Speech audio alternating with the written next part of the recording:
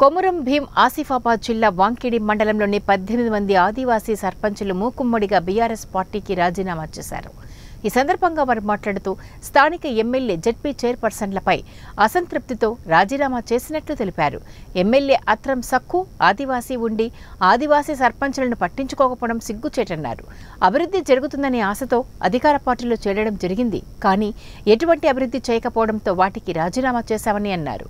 ZP chairperson khoa Lakshmi కూడా తమను పట్టించుకోలేదని అన్నారు.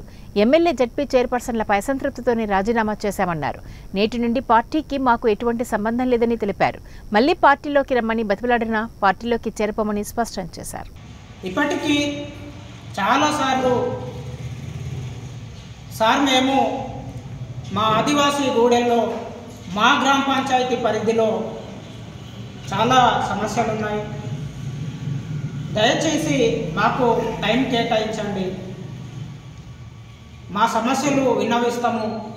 దయచేసి ఎన్నో కొన్నన్న సమస్యలు పరిష్కారం చేయాలి అని మేము సమయం గడుపుతున్నప్పటికి కూడా మాతో కనీసం కూర్చొని మాట్లాడే తీరిక కూడా స్థానిక ఎమ్మెల్యే గారికి లేదు.